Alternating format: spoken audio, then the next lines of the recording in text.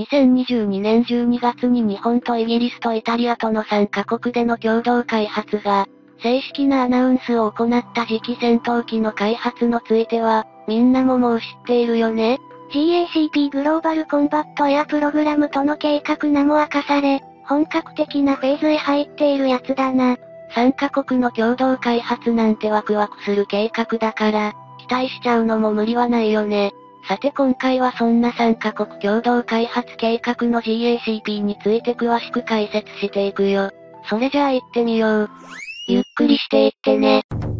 すでに2021年の終盤頃までに当時はこの GACP グローバルコンバットエアプログラムという計画名称は未定だったとはいえ、日本とイギリスとの間での機関部やアビオニクス類の共用関係は顕在化していたことが明かされていたよね。それでもことにその対象が戦闘機というケースではこれまでの太平洋戦争後の日本は、アメリカという唯一の軍事同盟国との協調を最大の前提としており、それはもはや自明の利とでも形容すべき分野であったんだ。そのため、今後開発される次期戦闘機が代替する対象機である F2 戦闘機についても、現ロッキード・マーチン社が要する F16 ファイティング・ファルコンをベースに開発を行った機体であり、同社の技術供与は揺るがないと見る向きが多数を占めていたな。また一部には F2 戦闘機の時に最大の懸念点として、その現ロッキード・マーチン社との共同開発が行われた原因と目された機関部の重国参加について、IHI 社製の試作機 XF91 が2018年に防衛装備庁への納入を果たしたことから、悲願の準国参加を支持する声も聞かれたぜ。しかし今や自国の技術のみで新型の戦闘機開発を遂行できるだけの基盤を確保することや、軽く超単位の開発費が想定される時代にあっては、個人的には日本が次期戦闘機開発を準国参加で成し遂げることには懐疑的な考えを持っていたんだ。そのため現行の F2 戦闘機でも共同開発を行い、また最新鋭のいわゆる第5世代戦闘機たる F35 ライトニング2も日本は総数でこれまで247機の調達を決定している状況からは、それを有するロッキード・マーチン社の主体的な参画は揺るがないと見ていたってわけ。しかしそうした推察は大きく外れ、日本は F2 戦闘機の代替機を GACP グローバルコンバットエアプログラムにて調達する方向に舵を切り、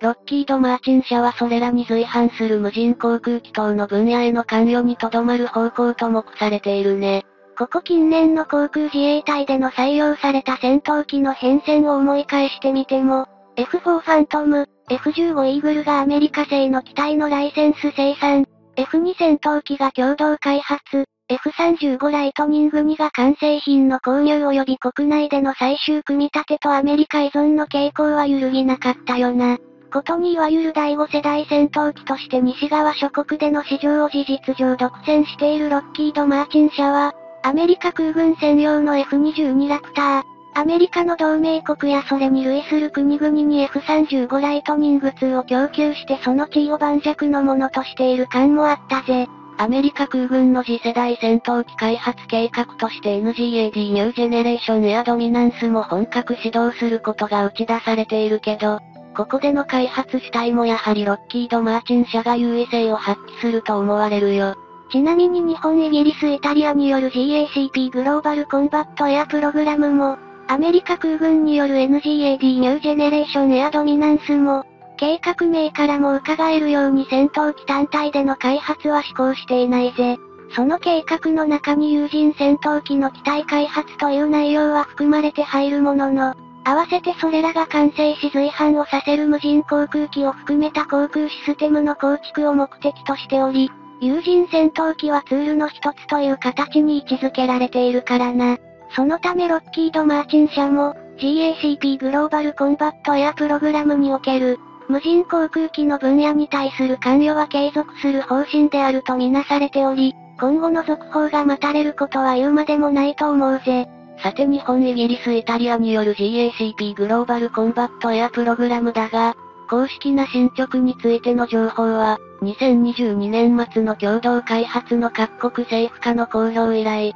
かなり少ないことは否定できないんだよね。一時期は GACP グローバルコンバットエアプログラムにおける、日本、イギリス、イタリアの3カ国の開発費用の安分比率が、2に1になるとの観測も、イギリスのロイターなどで報じられたこともあったけどイタリアによってすぐに否定されたんだ。また GACP グローバルコンバットエアプログラム開発の主体を担う拠点をイギリスのロンドンに置き、専用のベンチャー企業を通じて開発自体を行うとの報道も見受けられたが、その後の追加情報もあまり見当たらないな。そんな中でこの202年6月13日に GACP グローバルコンバットエアプログラムに向けた機関部開発についての情報を、イギリスで同プロジェクトの主管を担う BAE システムズ社がわずか30秒強の映像であるが YouTube などに公開したよ。今回の情報によれば BAE システムズ社は、機関部以外にも搭乗者の緊急脱出装置や、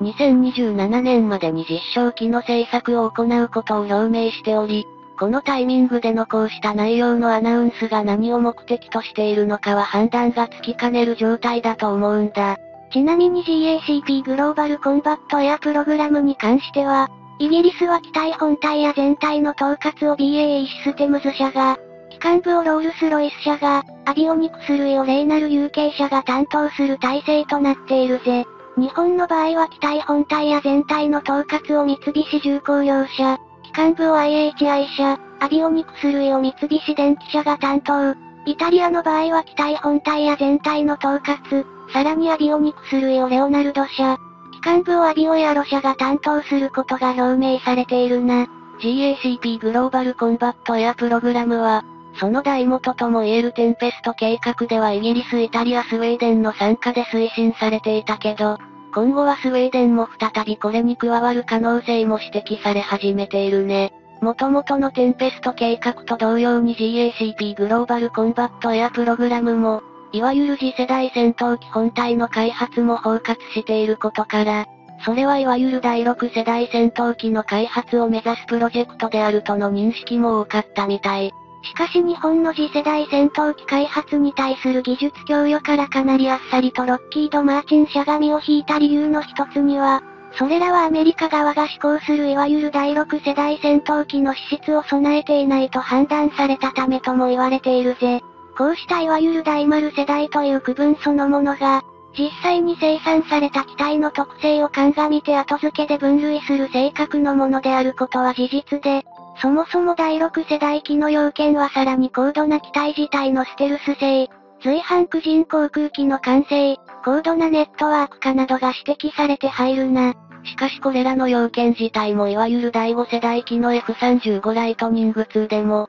今後のアップデート次第で十分にカバー可能な能力とも思え、あながちアメリカ側が GACP グローバルコンバットエアプログラムを次世代とみなさないという見方も的外れとは言えない気もするんだよね。それでもいわゆる第4世代戦闘機の走りとしてアメリカが開発した F15 イーグルや、F16 ファイティングファルコンの最新型が、限定的なステルス性能や飛躍的に強化されたアビオニクス類の装備で第4.5世代と評されている事実は示唆的に思えるぜ。すなわち GACP グローバルコンバットエアプログラムでは、F35 ライトニング2の生産にも大きな関与を果たした BAE システムズ社が主体的な役割を担うことで、少なくともそれを5.5世代相当の機体に仕上げる可能性は高いんじゃないか？それが実装されれば、今の F35 ライトニング2では困難だった。日本やイギリスやイタリアが自由に自国の必要性に照らして回収を行う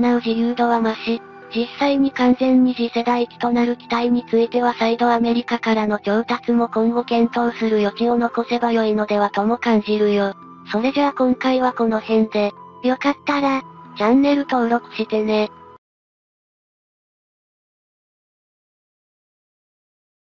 空母化改修工事中の護衛艦加賀だけど、その艦首がやっと四角へ回収されたという情報が入ってきたよ。関西機となる F35B 戦闘機も2024年には日本へ納入される予定になっているね。この F35B については、2023年度予算に8機分の購入金額が組まれていたな。さて今回は、この四角へ変化した艦種について詳しく解説していくよ。それじゃあ行ってみよう。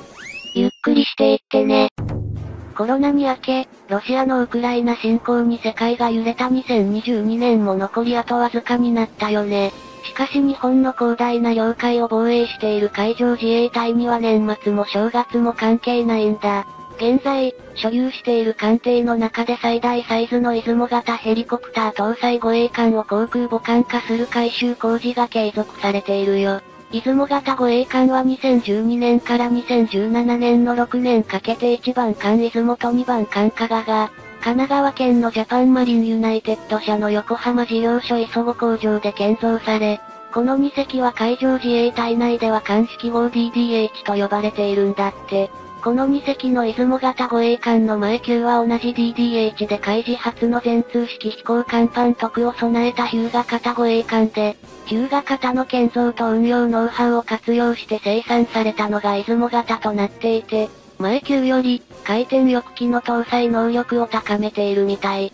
日本の海上自衛隊では、出雲型護衛艦は前述した通り DDH に分類されるヘリコプター搭載護衛艦と位置づけられてきたけど、世界の基準に照らし合わせるとイギリスの著名なジェーン年間などでもヘリ空母に分類されているよ。そのため出雲型護衛艦は他国の海軍の基準では回転翼機を搭載する軽空母という扱いなんだけど、日本はそうはいかず、政治的に航空母艦保有を公に述べることが難しかったから、収益した時から極力そういった見方をされることは避けていたという感じを受けたものだね。国会が代表する政治の場でも、出雲型護衛艦に全通式飛行艦パンを採用した外観のせいで、当時の反対派から海上自衛隊は航空母艦を建造、保有しているという批判が上がり、苦しい答弁を続けていたという記憶をしている方も多いだろうな。この時点では出雲型護衛艦が航空母艦に実際に回収されるとは、個人的には想像もしていなかったぜ。しかし、中国による南西諸島方面への圧力が増大したこと、F35 ライトニング 2B 型戦闘機の実用化が後押ししたようとも思われるな。でも、例えば韓国海軍の独都級強襲揚陸艦には F35 ライトニング 2B 型が実用化されているけど、肝心の対応可能なエレベーターが装備されていない艦艇なんだ。一方、出雲型護衛艦は F35 の運用に適応したエレベーターをもともと備えていて、これはいずれ本当に F35 ライトニング 2B 型を艦載機として運用するかどうかは別としても、そういった事態が到来することに備えてエレベータ規格そのものを対応可能なものに設計していた先見性の高さが功を奏したと言えるね。出雲型護衛艦が持っているそうした艦艇としての基礎や、中国の脅威増大という外的要因、アメリカのロッキード・マーチン社製の F35 ライトニング 2B 型という短距離離陸垂直離着陸が可能な、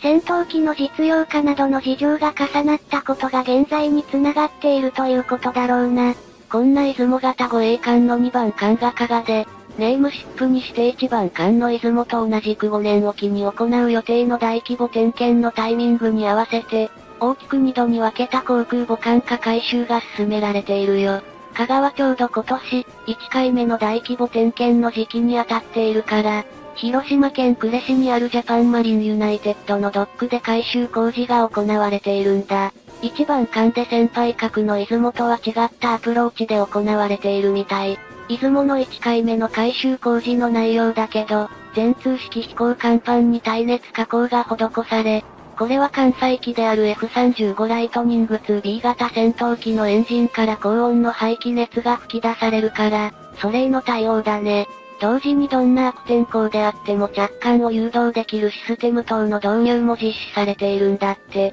では香川というと、上空から見た場合に艦首部分の飛行甲板がはっきりわかる台形状と認識できたけど、この形をアメリカの強襲揚陸艦に見られるような四角形に変更する工事が行われていて、この変更理由だけど、加賀の全通式飛行甲板の運用効率をさらに向上させるためと推測されているよ。発着艦に使用できる飛行甲板の面積を増やすと同時に、それらに干渉しない部分液体が露天中期できるようにしたということだね。ちなみに加賀など同じく F35 ライトニング 2B 型を艦載機として運用しているのが、イギリスのクイーンエリザベス級航空母艦で、この艦首部分にはスキージャンプ方式を採用しているから、戦闘機の発艦だけを考えれば、上艦の方が運用効率は高いようだな。というのは、スキージャンプ方式を採用すると艦載機 F35 ライトニング 2B 型は、それ以外の艦艇より大量の燃料や兵装を搭載した状態で発艦できるといい。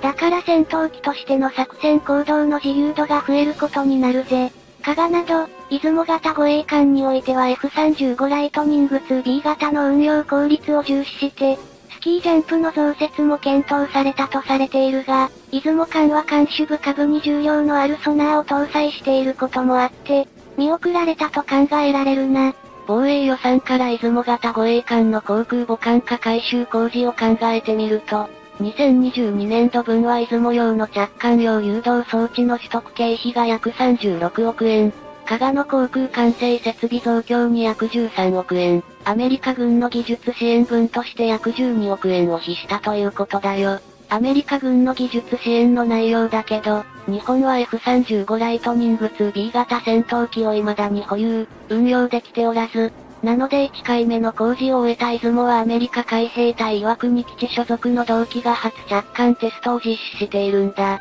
このような F35 ライトニング 2B 型の実機を使用した各種テストや、艦内格納庫をはじめとする準備費用として、アメリカ軍のリソースを活用する経費、いわばコンサルティング的経費がこれに充当されていると推察されるね。来年度2023年度防衛予算の内訳だけど、出雲型護衛艦航空母艦化改修に、出雲と加賀の2隻で総額約52億円を投じることが確定していて、つまり、夏の概算請求にさらに上乗せされているってわけ。出雲型護衛艦の基本スペックを紹介すると、基準排水量1万9500トン、満載排水量2万6000トン、全長248.0メートル、全幅38.0メートルで、F35 ライトニング 2B 型を艦載する場合はマックス約10機が艦内に収容可能と見られていて、F35 ライトニング 2B 型10機という艦載機数を考えると、航空母艦という言葉からイメージされる航空戦力としては決して大きいとは言えないと感じられるけど、個人的には次の艦艇建造への布石ではないかと思われるね。尖閣諸島を含む南西諸島防衛のためには、今後ますます当初防衛用装備の重要性が増加すると思われ、ということは、出雲型護衛艦で F35 ライトニング 2B 型戦闘機の運用実績を積み重ねて上で、以後の艦艇建造に反映させる方針ではないかと考えられるぜ。その際、航空戦力としての収容力増加が必須と判断された場合には、自給艦艇建造にも影響するだろうね。例えば満載排水量3000トンクラスの強襲揚陸艦タイプを建造する計画を立てる可能性もあるだろうし、現在より強く水陸両用作戦を念頭に置いたものを購入することになるのかもしれないもん。どちらにしても現状では南西諸島方面で自衛隊が使用できる滑走路は、沖縄本島のみしか存在しておらず、ということを考えると、出雲型護衛艦は一丁有事の際、貴重な航空戦力の当社母体となり、臨時の移動滑走路としての役割も担うものになると考えられるぜ。70年前の話だが、香川太平洋戦争中も大日本帝国海軍の航空母艦加賀として存在していたな。香川基準排水量3万8200トン、満載排水量4万2541トン、全長248.6メートル、全幅32.5メートルという大型艦だったもんね。ただし、注意書きがあり、この加賀がこれまでの排水量を誇ったのは航空母艦ではなかったからで、もともとは加賀型戦艦として建造が予定されていたんだけど、1921年大正10年採択されたワシントン海軍軍縮条約によって、設計を変更したせいで、それが現在空母に生まれ変わるというのは、歴史の流れを感じるよ。それじゃあ今回はこの辺で、よかったら、チャンネル登録してね。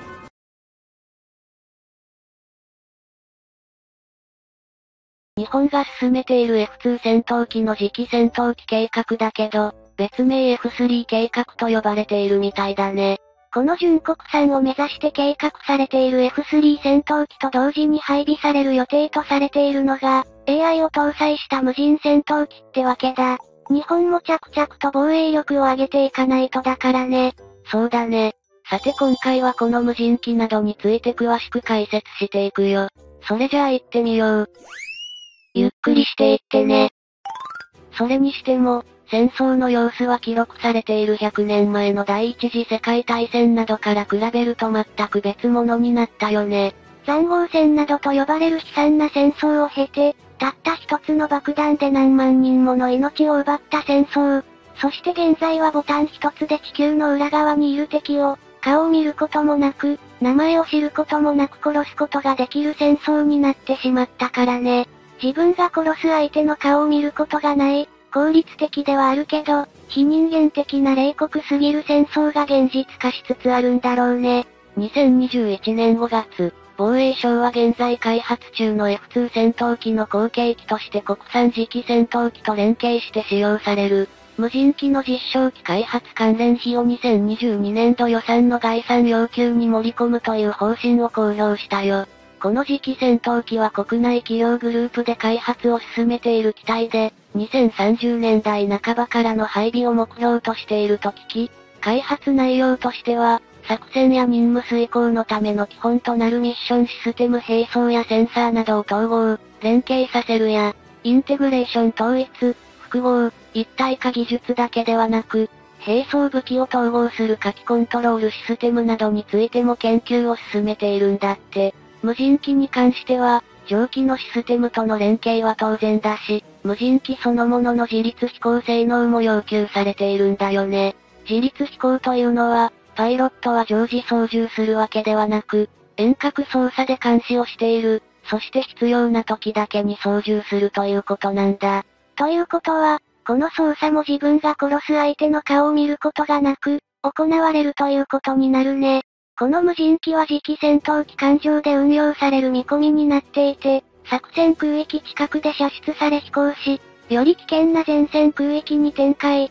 搭載母機つまり次期戦闘機の誘導コントロールに従いながら、自立飛行できると見られているね。無人機のメリットだけど、なんといっても、乗員パイロットの人命を守れるというのが最大のメリットだろうね。それだけではなく、有人機ではできない運動性能が十分発揮できるし、コックピットスペースが不要になるから、そのスペース分が小型化できるんだ。そしてパイロットがいないので、その分の重量が減り、となると、その分積み込む燃料も増やることになり、燃料が増えれば、航続距離は伸びるし、兵器の搭載量も増やせる計算になるってわけ。当然のことだが、機体の形状にも影響はあって、体の凹凸が減らせるというメリットがあり、凹凸が減れば、ステルス性能向上に結びつくよ。経費の面でも、有人機と比べると必要経費は大幅に減ることになり、パイロットの人件費も削減され、そして極論だが、ミサイルのように使い捨ての戦闘機として活用することもできるというわけだね。使い捨てというけど、マスクやコンタクトレンズ、カメラじゃないから、注ぎ込む巨額経費を考えれば、簡単に使い捨てにしてほしくはないよね。廃棄された機体から機密情報が盗み取られるという恐れがあるという意見も散見するし、実は防衛省内では無人機開発構想が以前からあったみたい。航空自衛隊がアメリカから導入を進めている無人偵察機 R94B グローバルホークのように、遠隔操作できる無人機研究も進められていると言われるし、遠隔操作できる無人航空機といえば、アメリカのグローバルホークと並んで有名なのが、アメリカ空軍が開発中の XQ58A バルキリーだね。バルキリーというと、80年代一世を風靡したアニメ超時空要塞マクロスを思い出す方もいるんじゃないかな。戦争アニメと歌姫という異質なものを同時に存在させ、今に続く戦闘美少女という流れを作る一助になったと言われているよ。余談だけど、放映前にはヒロインの民名を宇宙のリリー・マルレーンと形容していたみたい。放映が始まったらこの形容は使われることがなくなったんだけど。さて、現実のバルキリーを開発した会社だけど、アメリカの軍需産業界ではほとんど名が知られていなかったクラトス社だね。このバルキリーは AI を搭載し、ア音速飛行と長距離飛行を可能にした自立飛行無人機で、バルキリーの初飛行は2019年平成31年3月だったんだけど、初飛行の成功以来、何回もテスト飛行を重ね、2年後の2021年3月の6回目のテスト飛行で、ウェポンベイから小型ドローンを射出する実験に成功したと発表があったよ。バルキリーから打ち出されたドローンは小型無人航空機アルテウス600と呼ばれていて、アメリカ空軍研究所が提唱している低コスト消耗型航空機技術の一つとして開発されたもので、電子戦や信号傍受などを実行できる優秀な機体と言われているよ。アメリカ空軍は2019年に自立型無人システム実戦配備を目指してスカイボーグ計画を発表し、この計画の実現によって無人航空機軍を組織化し、低コストで運用、維持が可能になり、紛争地域ではスピーディな行動ができる。敵に決定的な打撃を与え、進行が阻止できることになると述べているよ。では日本を見てみると、防衛省は無人機の運用範囲について、偵察機、戦闘機などあらゆる機種を想定しているみたい。コンピュータが機体設計を行うデジタルモックアップ技術を活用する研究を進めていると言われているし、次期戦闘機に付随する小型無人機もその研究の成果ではないかと見られているんだ。防衛装備庁は2016年平成28年8月、将来の無人機装備に関する研究ビジョンなる論文を発表していて、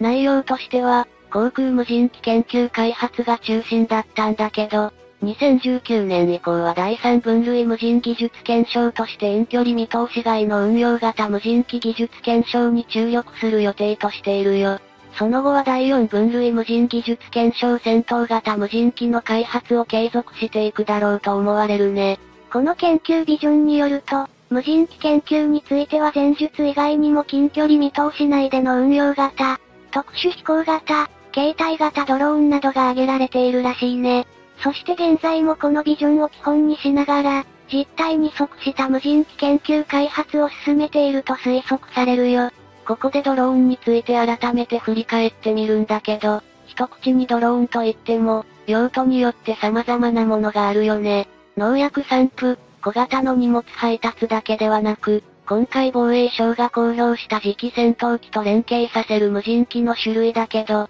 強引に表現してみると近距離見通し外運用型かつ携帯型無人機とも言うべきジャンルではないかと感じるよ。世界各国が無人戦闘機開発を進めている流れに乗り遅れないためだろうけど、日本の F15J 戦闘機の近代化改修計画が膠着状態になっているから、アメリカより早く開発成功の可能性がある第6世代次期戦闘機と連携を進めようとするのは、ごく自然なことじゃないかな？パイロットの疲労を防ぐことができる無人機戦闘機開発については、日本のみならず全ての国が注力していると言ってもオーバーではない現状だし、2021年2月、アメリカ国防高等研究計画局はロングショット開発計画なるものを発表していて、同時に国内3社に、空対空ミサイルを搭載して敵機を攻撃するためのドローン設計も発注したみたい。このドローンは有人機から操作するから、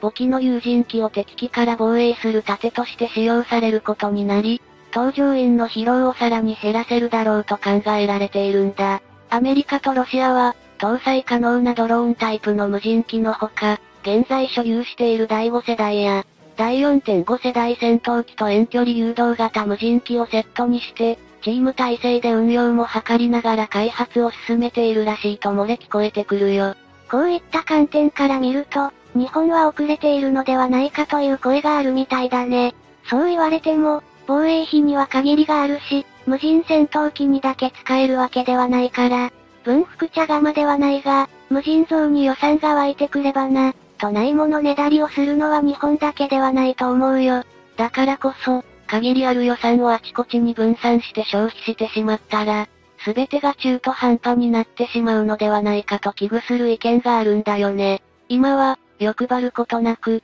次期戦闘機の実戦配備を急ぎつつ、連携させる無人機開発を、同時進行させるということに集中するべきではないかと思われるよ。それじゃあ今回はこの辺で、よかったら、チャンネル登録してね。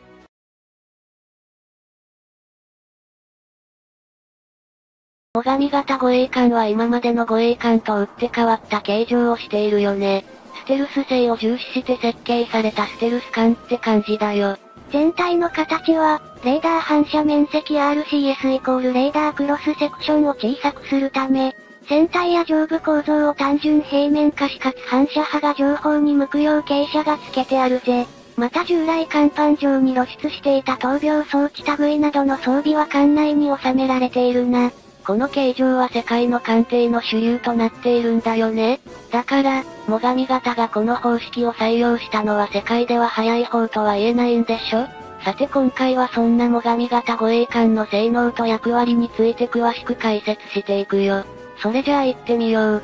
ゆっくりしていってね。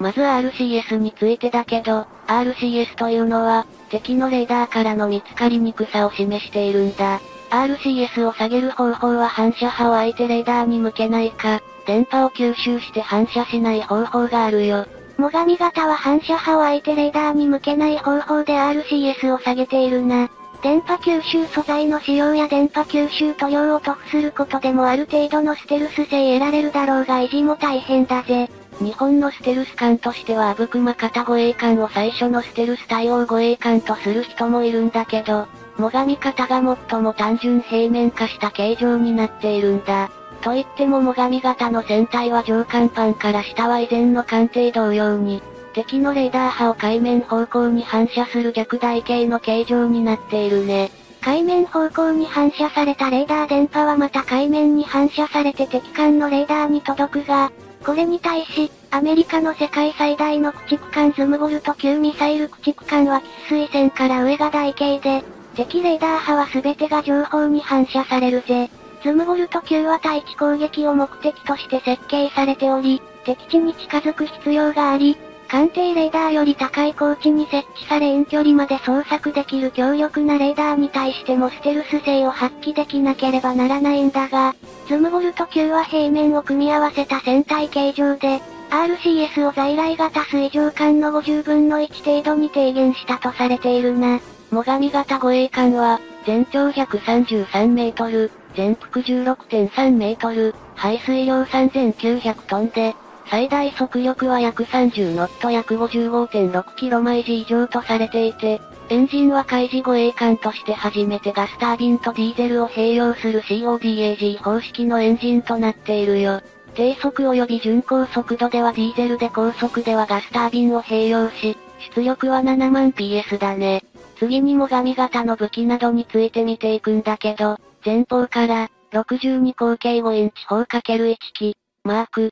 41VLS 装置 ×1 式追加装備を予定。水上発射管 HOS303-324mm 3連装単魚雷発射管 ×2 機。水上艦用機関銃化遠隔操作型 RWS×2 機。ジャフロケットシステム ×1 機。艦対艦ミサイル SSM 装置 ×1 機。対艦ミサイル防御装置近接防空用 c ラム ×1 機が搭載されているんだ。62口径5インチ砲の手法は、62口径5インチ 127mm 砲を軽量の単装砲塔と組み合わせた砲で、名称はマーク45モド4で、海上自衛隊はこれを日本でライセンス生産を行い62口径5インチ砲として採用しているよ。62口径5インチ砲の砲身長は7.874メートル 62×127mm で、砲塔は耐水構造のアルミニウム合金製。砲重量は約29トン。自動装填により完全無人化されているね。初速は、新品状態で808メートル毎秒。射程は 37km。発射速度は16-20発毎分で、ステルスマストに装備されているフェーズドアレイレーダー OPY2 が四方射撃管制にも使用されるんだ。次にマーク、41VLS 装置は追加装備が予定されていて、具体的にはシンガポール海軍のフォーミダブル級フリゲートのような感じになるとされており、VLS をレーダー遮蔽板で囲い、ステルス化してあるみたい。そして水上発射管 HOS303 は2段積みにされた3本の発射管、旋回装置、発射装置などで構成され管の両舷に設置されていて、重量 320kg、全長 2832mm の97魚雷、ヒトニー魚雷やアメリカのマーク、46魚雷を発射でき、魚雷は発射管の後尾にはめ込まれた球形の金属管アキュムレーターの空気圧によって射出されるんだ。水上艦用機関銃か遠隔操作型 RWS は 12.7mm 重機関銃を装着したものだな。銃火は固定式だが、機関銃は通常は艦内に格納されており、この装置は既存の 12.7mm 機関銃重火を自動化し、操作員が見張り、装填、射撃を一人で原則に出ないでもできるように省力化されているぜ。遠隔射撃ができるだけでレーザー測距儀や自動追尾装置、ビデオ映像を保存する録画機能も付加されていないみたいだね。本来 RWS は水上艦艇の近接防御のためのシステムで、両舷の2機だけでは360度の近接防御は不可能となっており、特にこの配置では後方は死角になっているぜ。近接防護用でありながら、後方から高速で自爆ボートなどが来たような場合対応できないだろうな。艦の後方には対艦ミサイル防御装置近接防空兵器があるんだけど、短距離用ミサイルしか搭載していないみたいだしね。ジャフロケットシステムは攻撃機や対艦ミサイルなどの攻撃に対し、飛来するミサイルの誘導装置や敵型のレーダーに対して時間の位置を不明瞭にするために発射されるよ。電子戦支援 ESM システム、レーダー警報受信機などと連動して、脅威を探知すると同時に、ロケットが発射され、ロケットがアルミニウム箔や金属ワイヤーなど着と油を空中散布するんだ。ジャフロケットシステムはマーク、137発射機 ×2 機両舷に各1機とマーク、164制御盤、ク、160電源装置などによって構成されていて、6発のロケットを挿入できるんだけど、装填は人力で行うようになっているんだって。SSM 装置は、艦の中央に配置され、左舷及び右舷を向いた人7艦対艦ミサイル SSM24 連装発射等2機及び、攻撃管制用の艦対艦ミサイル艦上装置3両 SSMS3 で構成されているぜ。SSM 装置はミサイルを最大8発搭載でき、ミサイルは、全長5メートル、全幅0.35メートル、ミサイル重量 700km、射程 400km です。推進方式は固体燃料ロケットモーターブースタープラスターボジェットエンジン巡航用で、誘導方式は、シュート工程管制後方装置 INS、全地球測位システム GPS、終末工程アクティブレーダーホーミング ARH となっており、陸上自衛隊の人に1対艦誘導弾をベースとして開発され、目標座標を入力すれば地上目標の精密打撃も可能なため、有事には地上部隊支援のための対地攻撃用としても使用できるらしいな。対艦ミサイル防御装置はイージス艦の区域防空や艦隊防空及び搭載予定の VLS による股間防空をくぐり抜けて、飛来する対艦ミサイルを最終防衛ラインとして迎撃する近接防御武器システムだね。使用するミサイルはリム116ラムで、ミサイルは FRP 製キャニスターに入れられた状態で供給され、人力により発射機に装填されるよ。対艦ミサイルの飛来を、艦艇のレーダーや ESM 電子戦支援装置、光学赤外線装置などで探知すると、目標データをミサイルに付与して、発射機が敵ミサイルの飛来方向に向けられ、ミサイルが発射されるんだけど、以後は艦艇からの誘導を必要とせず、自立飛行して目標に向かうから、他の目標に向け、次のミサイルを発射することも可能なんだ。全長2.82メートル、弾体直径12.7センチメートル、翼幅44.5センチメートル、射程9.6キロメートル、重量73.6キログラム、弾頭、爆風破片策略、誘導方式中間誘導パッシブレーダーホーミング、終末誘導赤外線ホーミング、速度マッハ2.5となっていて、発射機は11連装で、複数目標に対処でき、発射機自体が補足レーダーや赤外線センサー、電波探知装置を備える独立完結したシステムだよ。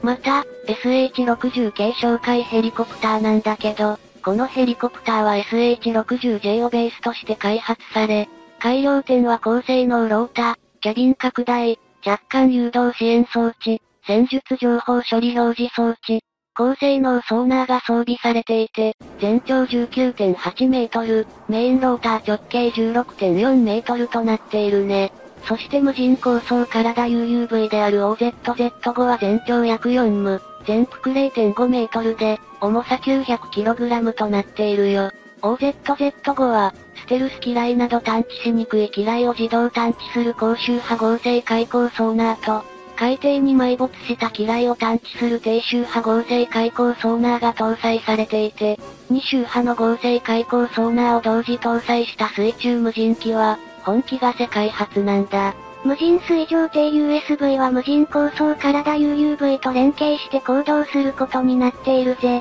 また、最上型は監視対戦ソーナーが廃止されソーナーは O9925 に一本化されており、O9925 はパッシブ機能とアクティブ受信機能を併用でき、可変ソーナー VDS と受信アレイ TASS から構成されていて、アクティブでは VDS から音波発信し TASS 側で得られた音源を受信するらしいな。大機雷専用ソーナーは艦の最下部に、簡易型機雷敷設装置は艦の最後尾にあるね。複合作業艇は内否定と通称されていて、船体側面のハッチを開き、固有のクレーンで上げ下げされるよ。最後に出雲型護衛艦の役割についてなんだけど、最上型護衛艦は、増強著しい中国軍の海洋進出、特に台湾や南西諸島への侵攻機とに対処するため、我が国海上防衛の一端を担う次世代型多目的フリゲートだね。最上型の護衛艦艦艇記号 FFM は新設されていて、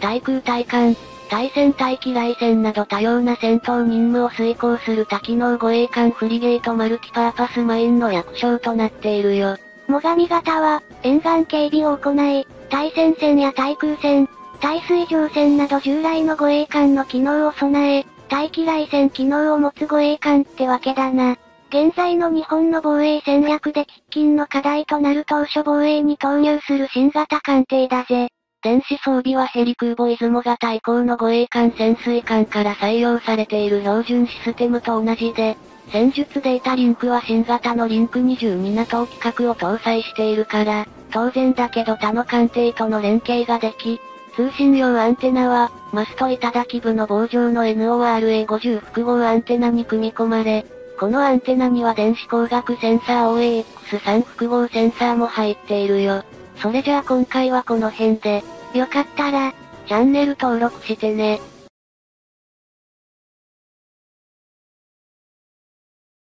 日本では今年2023年は最大で9連休とも評された大型連休だったけど、その間の5月上旬に東洋有数の貿易港として名高いシンガポールでは、4年ぶりに主として海軍や海防組織に向けた展示会イムデックスアジアが開催されたね。軍事マニアのみんなにとっても、きっと充実した大型連休になったはずだね。今回のこの展示会はイムデックスアジア2023と銘打たれ実施されたもので通算では13回目の開催を数え、シンガポールのチャンギエキシビションセンターにおいて60カ国を超す国々から1万1000名以上の参加が実現した模様だよ。そうだね。さて今回はそんなイムデックスアジア2023について、詳しく解説していくよ。それじゃあ行ってみよう。ゆっくりしていってね。イムデックスアジア2023には13カ国の3カ国から22隻の艦艇が派遣されており、その中には日本の海上自衛隊も含まれ、同隊の最新鋭の護衛艦である最上型の2番艦熊野もチャンギ海軍基地にその勇姿を見せていたよ。熊野は昨年2022年3月に神奈川県の横須賀を母港とする総海隊軍に配備されたばかりで、1番艦最上も同部隊に翌4月に加わっており、これまでの護衛艦と一線を画すステルス性を前面に出した艦営が特徴だね。最上型護衛艦は3番艦の城が2022年12月、4番艦三熊が2023年3月に共に長崎県の佐世保を母港とする、護衛艦隊の第13護衛隊に配備され、日本の東西に2隻ずつが割り振られた形となっているんだ。今回のイムデックスアジア2023への熊野の参加をめぐっては、日本の SNS 上などにおいて一部では、海上自衛隊の最新鋭の護衛艦が派遣されることをいぶかしむ意見も散見されたが、この程度の行為で他国に性能を把握されるとは思えないね。でも自国の情報が漏洩することを危惧する声があることは良いことだね。それだけ軍事的な面について考えている人たちがいるってことだから。うんうん。ただ大半の行動が秘匿されている潜水艦であれば、個別に異なる音紋を他国に収集されるというような危険性もあるだろうけど、ステルス性を高めているとはいえ水上戦闘艦は容易に目視できてしまう存在だからね。従って敵のレーダーに察知されづらいステルス性を追求しているからといって、その効果がこうした展示会への参加で損なわれる可能性を論じても無意味で、むしろこうした最新鋭艦を海上自衛隊が装備していることを知らしめる効果の方が優先させるんじゃないかな。あえて知らせることで抑止力となり得る方向に進んだわけだね。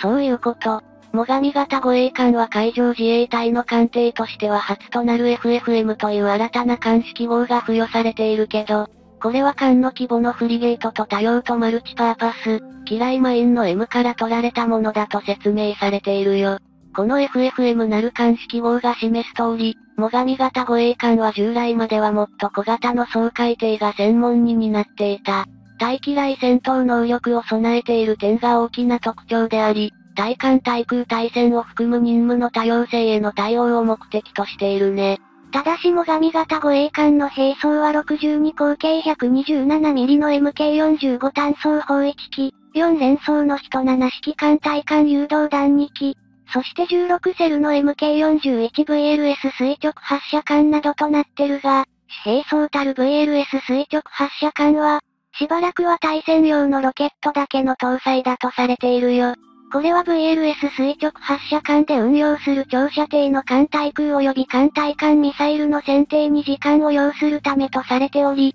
かつ予算の都合上そもそもの VLS 垂直発射艦自体の搭載が後日対応であり、その点は確かに心もとないね。またも神型護衛艦の16セルという VLS 垂直発射艦の数も、日本の仮想敵国である、中国海軍の 054A 型ジャンカイ2型フリゲートや、ロシア海軍の、アドミラル・ゴルシコフ級フリゲートの同32セルと比すれば半分に過ぎない点も事実だね。こうした最上型護衛艦の軽兵装は中国の SNS 上などのコメントでは当然のことのように揶揄されて入るけど、海上自衛隊としてはこのクラスの艦艇20兵装は、不要と判断していることの表れでもあり、一概に断ずべき部分ではないのだろうね。またも神型護衛艦が収益を始めた時点においては、同級は最大で22隻という大量建設の可能性があることも指摘されていたけど、2023年1月末に2024年度からはさらに新型の FFM の建造が予定されると判明し、12隻で終了することが確定しているよ。ただし個人的には新型 FFM とはいうものの、最上型から抜本的な変更が行われるとは考えにくく、これまでに判明した最上型の改善点を盛り込んだ形で、自動車でいう大規模マイナーチェンジ的なものに相当するのではと予想するよ。さて今回のイムデックスアジア2023に参加した熊野だけど、そこでイギリスの軍事専門誌のジェーンズ・ディフェンス・ウィークリー誌の取材を受け、UUV 機雷探索用に開発された無人機の運用が開始されていることが判明したね。この UUV 機雷探索用に開発された無人機は三菱重工業社が製造を担当し、2013年から2016年の期間をかけて開発されたもので、海上自衛隊での正式な装備名称は OZZ5 自立型水中航走式機雷探知機と呼称されているよ。ジェーンズ・ディフェンス・ウィークリー誌の取材で明かされた内容によれば、熊野のみではなくこれまでに就役を行った4隻すべての最上型護衛艦でこの2023年3月以降、OZZ5 自立型水中航走式機雷探知機は運用が開始されたというんだ。OZZ5 自立型水中航走式機雷探知機の特徴は、水中を自律的に航行して様々な種類の機雷を探知する無人機であり、全長は4.0メートル、全幅は0.5メートル、総重量は0.9トン、水中での最大速度は7ノットとなっているね。機雷は製造コストが安価な割には、敷設されてしまえばその海域を比較的容易に海上封鎖することが可能な兵器であり、かつ近年では新しい技術を取り入れた発見が困難なステルス性を持たせたものや、海底に埋没させる形式のものなどが登場してきているよ。こうした新型の機雷の前には、従来の総海底のように自らがその敷設された海域に入り込んで、除去を行うことが著しく困難となっており、友人の総海底では、対応が難しいそれらの機雷に対し、新たな対処方法が模索されてきたよ。そこで開発されたのが OZZ5 自立型水中構想式機雷探知機であり、探知自体が難しくなった機雷を広い海域にわたって自立した航行を行うことによって、万一の際の人的な損耗を防止しつつその探知を行う任務を遂行するんだ。OZZ5 自立型水中構想式機雷探知機は、2種類の異なる周波数帯に対応した合成開口ソーナーを搭載しており、低周波に対しては日本の NEC 社製、高周波に対してはフランスのタレス社製のソーナーを採用しているみたい。日本の NEC 社製、フランスのタレス社製の2種類の合成開口ソーナーによって、機雷そのものは元よりその埋没した海底の地形の情報を取得することを可能としており、この仕組みを備える UUV 機雷探索用に開発された無人機としては世界初となっているね。OZZ5 自立型水中構想式機雷探知機は、昨今の海上自衛隊の潜水艦と同様に、本体には高度な姿勢制御が可能な X 舵を備え、充電方式のリチウムイオンバッテリーを動力として、4ノット航行ならば最長でおよそ9時間に及ぶ駆動を実現しているんだ。こうした OZZ5 自立型水中構想式機雷探知機が持つ機能は、フランスの大手軍需関連企業である、タレス社の技術が用いられていることは比較的にメディア等への露出も多く、知名度も高いものと想像されるね。かたや日本の NEC 社はこうした軍需用途への参画はあまり大々的には取り上げられていない気もするが、今年2023年3月中旬に千葉の幕張メッセで開催された DSEI ジャパン2023では、同社のブース内で OZZ5 自立型水中構想式機雷探知機の模型が展示されたよ。日本の防衛産業に製品を開発している企業は、どうしても自衛隊のみが供給先であるため製造数量が限られ、商用的には採算が合わないことが多く撤退企業も後を絶たないが、NEC 社には防衛産業分野でさらなる協力を願わずにはいられないよね。それじゃあ今回はこの辺で、よかったら、チャンネル登録してね。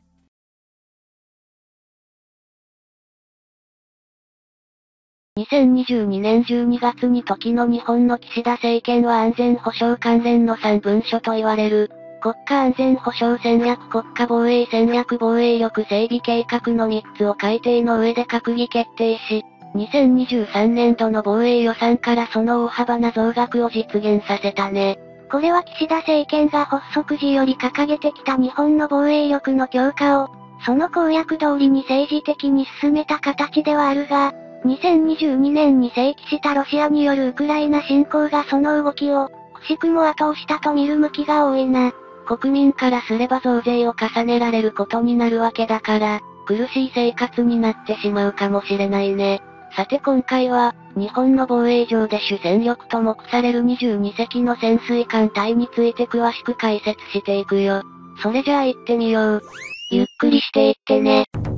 小安倍首相や前官首相の政権よりも与党自民党内における現岸田政権は、防衛予算の増額に関してそこまで強硬に推進することを、政治的に強く標榜していたわけでもなかったように思えるけど、世論の影響も少なくなかったと映るよね。今回の安全保障関連の3文書の改定と閣議決定では、日本の防衛力の増強の柱にはスタンドオフ能力を向上させることが謳われており、その分野の兵器開発と調達に防衛予算を投入することが大きく報じられているよ。スタンドオフ能力とは、敵の防空ミサイルの有効射程圏外から日本側が攻撃可能な兵装を装備することを指してており、国産の兵器としては一蓋式地対艦誘導弾の能力向上型や当初防衛用の高速滑空弾がその代表例とされているな。また一蓋式地対艦誘導弾の能力向上型が実戦配備可能となるまでのつなぎとしては、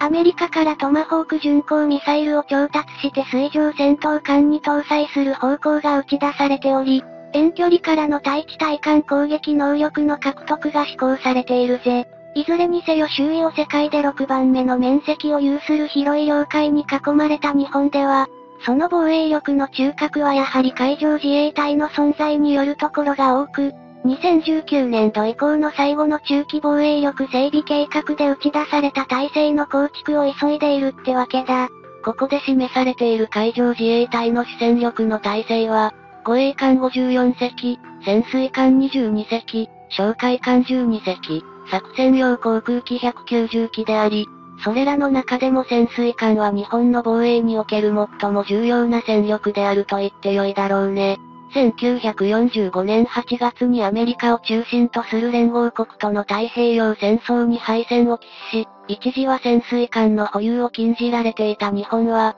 1954年に海上自衛隊の発足が行われたことで、再び潜水艦を保有運用する体制を取り戻したんだ。ただしこの時点では潜水艦の建造は太平洋戦争の敗戦によって禁じられていたことから、アメリカ海軍の通常動力型の攻撃型潜水艦である加藤級の民号貸与され、これを1955年から黒潮として運用、再開を果たしたぜ。この黒潮は海上自衛隊に貸与された後、現三菱重工業者の神戸造船所で環境等の改修工事を行い1966年まで収益。これと並行して川崎重工業者の神戸工場で1957年には戦後初の国産潜水艦である親潮が寄港されるよ。そして3年後の1960年にはこれに続く国産の早潮型2隻が寄港され、同艦はそれぞれ現三菱重工業者の神戸造船所と川崎重工業者の神戸工場で建造が行われ、今に続くこの両者による国産潜水艦の建造体制が構築されたんだ。今年2023年3月時点における海上自衛隊の潜水艦戦力は、古い方から親潮型が8隻、総流型が12隻、大芸型が2隻の22隻の実戦配備となっており、これとは別に2隻の親潮型が練習用の潜水艦として残されているね。海上自衛隊の潜水艦の数が現行の22隻体制となったのは2011年度の防衛計画の対抗からで、それまでは16隻体制であり、基本毎年1隻ずつの心臓艦を現三菱重工業者の神戸造船所と川崎重工業者の神戸工場が交互に収益させてきたってわけ。16隻体制から現行の22隻体制へと6隻の潜水艦の実戦配備数の増加が行われたことで、それまでは16年プラス練習艦としての数年で退役を迎えていた形が、22年プラス練習艦としての年数に引き上げられた状況だね。今の22年プラス練習艦としての年数という海上自衛隊の潜水艦の収益期間は、他国海軍の潜水艦が少なくとも30年以上は使用されていることが常であることからは贅沢な運用とも思えるが、それだけ海上自衛隊が潜水艦を重視していることの証でもあるな。また現三菱重工業者の神戸造船所と川崎重工業者の神戸工場が交互に2年で1隻を収益させる状態を維持していることで、そんな中で築かれてきた海上自衛隊の潜水艦22隻体制だけど、これを実現させたのは昨年2022年3月からであり、最新鋭の体芸型のネームシップであり一番簡たる体芸が収益したことで確立されたものなんだ。海上自衛隊の潜水艦として最新鋭である体芸型は、今年2023年3月に2番艦の白芸も収益を迎え、同級は最終的に何隻が建造されるのかは不明であるが、今年5月には6番艦の機構がすでに行われているよ。現状で最も旧式の親潮型が2023年時点で未だ8隻が実戦配備中であることを踏まえれば、その全てを代替するために大芸型は、少なくとも全10隻は建造されるのではないかと、推察されているね。大芸型は全長が84.0メートル、全幅が9.1メートル、深さが10.4メートル、基準排水量が3000トン、水中排水量が推定で4300トンと目されており、前級である総流型を踏襲し、若干排水量が大型化したと考えられているみたい。また体芸型はこちらも公表されていないため全てが推定値ではあるが、水中での最大出力は6000馬力で、最大速度は水上で13ノット、水中で18ノット以上と見られ、機関構成を同じくする総流型の最終の2隻とほぼ同等の性能だと推察されるぜ。海上自衛隊の潜水艦は現行の親潮型、総流型、体芸型ともにその先行深度はいずれも機密として明かされてはいないが、装備や建造に使用されて材質等の観点から、およその数値が推察されているからな。まずそうした中で最大値として推察されているのが、先行深度1000メートルとするもので、これはそういう方が船体に使用してる特殊鋼材 NS110 が物理的な計算上からはその数値まで頼ることが判明しているゆえだね。ついで先行振動900メートルと推察する見方もあり、これはそういう型が搭載する主兵装である89式超魚雷の性能が、水深900メートルに及ぶことからそれと同等ではないかという点から主張されている説だよ。ただこうした説はあくまでも特殊鋼材 NS110 の耐圧性能や、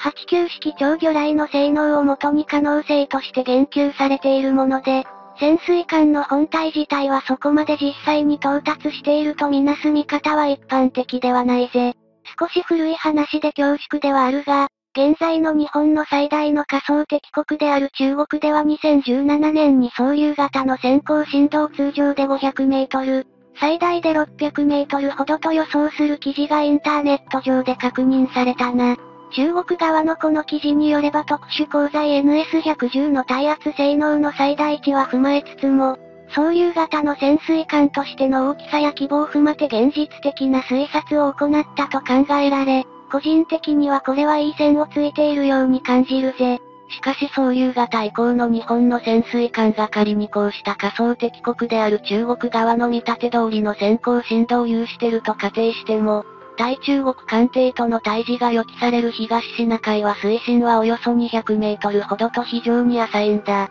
よってそうした水深の浅い海域に日本の潜水艦が進出して作戦行動を行うことは非常な危険を伴うために考えにくく、もっと水深の深い海域に潜んで、先進度にも対応可能と言われている新型の人8式超魚雷を活用する運用となるんじゃないかな。それじゃあ今回はこの辺で、よかったら、チャンネル登録してね。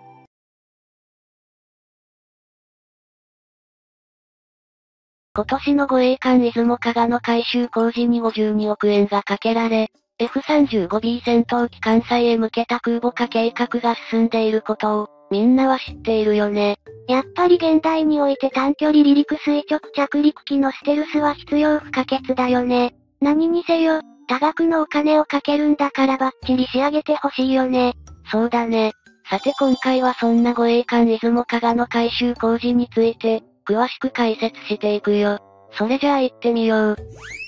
ゆっくりしていってね。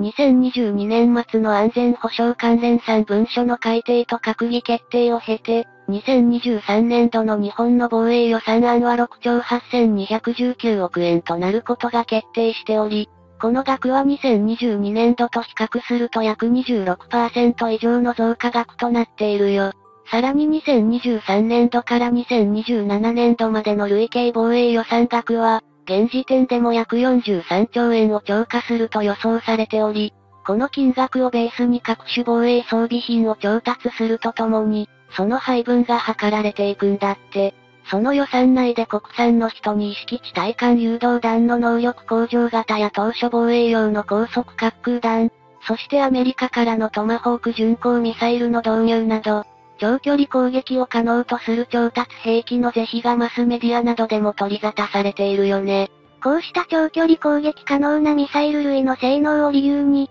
かつては敵基地攻撃能力と捉えられてしまい、専守防衛を掲げる自衛隊が保有してはならない攻撃的兵器だという認識が批判する側の意識の根底に根付いていたからな。そのような意識を日本国民から払拭させようという狙いから、政府はこれらの長距離ミサイルを、スタンドオフミサイルと言い換え、しかも反撃能力と呼称することで国民を納得させて政治的に乗り切ろうとしているよ。そんな中で反対派の大批判の渦中にいたのが、海上自衛隊が持つヘリコプター搭載護衛艦 DDH の出雲型2隻であり、航空母艦を彷彿とさせる全通甲板の光景は一番艦出雲の収益時から共産系メディアの攻撃の的となっていたんだ。出雲型護衛艦の収益は1番艦出雲が2015年3月、2番艦の加賀が2017年3月となっており、この当時は反対派からすると事実上の航空母艦であり、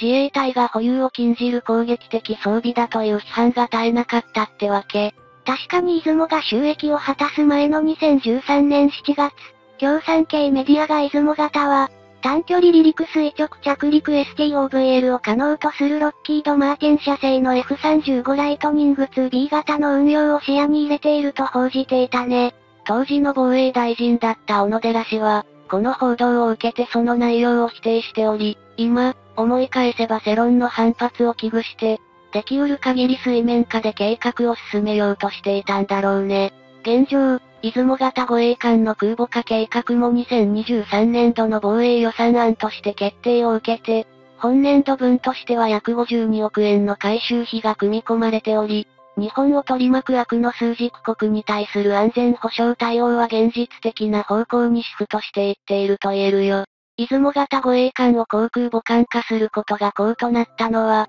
2016年末に航空運用能力向上に関わる調査研究を募った以降であり、この委託業務は、いずも型護衛艦2隻の建造を担うジャパンマリンユナイテッド社が勝ち取ったね。その調査研究では従来、回転翼機の運用能力のみ付与されていた出雲型護衛艦に対して、無人航空機や F35 ライトニング 2B 型など固定翼機の運用が公に検討される運びとなっていたんだ。2017年末には防衛省が航空自衛隊の装備品として、従来の F35 ライトニング 2A 型だけでなく、B 型の取得も検討中であることが伝えられ、出雲型護衛艦の航空母艦化はこの辺りから具体的に進んでいったってわけ。そして、2018年末の防衛計画の対抗では、これから航空自衛隊が保有する戦闘機運用の柔軟性をさらに向上させるがごとく、必要に応じて既存艦艇から STOVL 機が運用できるように考えていることが国民にも明かされたね。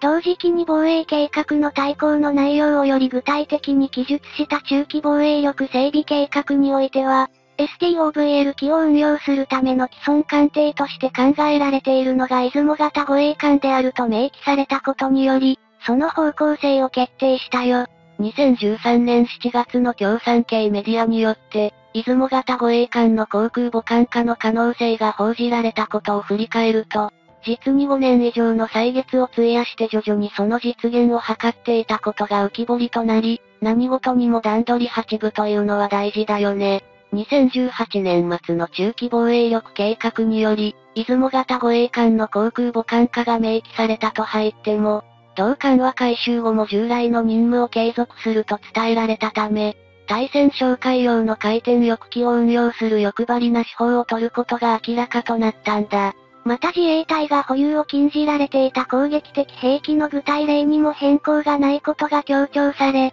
一応その具体例とされる兵器は長距離爆撃機、大陸間弾道弾ミサイル、航空母艦であるが、出雲型護衛艦は攻撃型の航空母艦ではないという認識を政府は示したよ。この当時出雲型護衛艦は航空母艦化改修後も、区分的には攻撃型ではないから自衛隊が保有することは問題ないとする理論は、日本国内では政治的な解決策として意味を持つかもしれないけど、当然のように中国党はそれを見逃すことなく日本が攻撃的軍艦を持つと示唆したんだ。しかし、自衛隊の存在自体を軍隊ではないと規定している日本の体制を、諸外国が認めているか否かという根源的な問題にも発展するかもしれないけど、対外的にも日本のへりくつを真剣に受け入れる国家は皆無と言ってよいだろうね。日本の国内において、いつまでこのような政治的なレトリックが続くのかと理解できないが、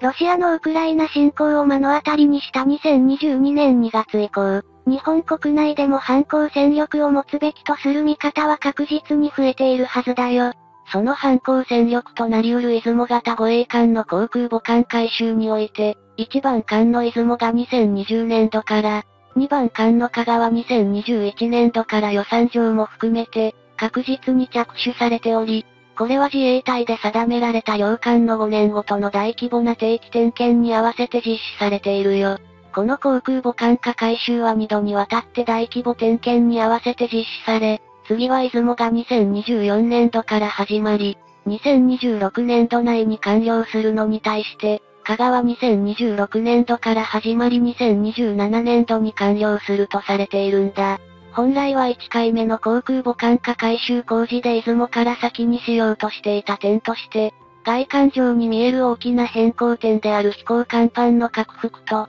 それによる監視部分の形状変更は行われず、これは2回目に実施される予定だね。逆に香川現在進行形で実施中の1回目の改修工事において、この飛行甲板の拡幅とそれによる監視部分の形状変更がすでに完了しているため、2回目の改修工事は期間が短くなると見られているよ。現在の航空母艦化改修の日程から想定される実際の稼働としては、出雲が2027年度、加賀がそれに若干遅れる形だろうと見られ、現時点からは少なく見積もっても3年ほどの期間を要することになるだろうね。また、F35 ライトニング 2B 型を艦載機として運用可能とするためには、物理的な航空母艦化改修の完了だけでなく、なぜか各艦艇が個別にアメリカ本土のノーフォーク海軍基地に出向いて適合テストで認証を得なければならないんだよね。しかも出航準備と並行して航空自衛隊では F35 ライトニング 2B 型の調達を進めており、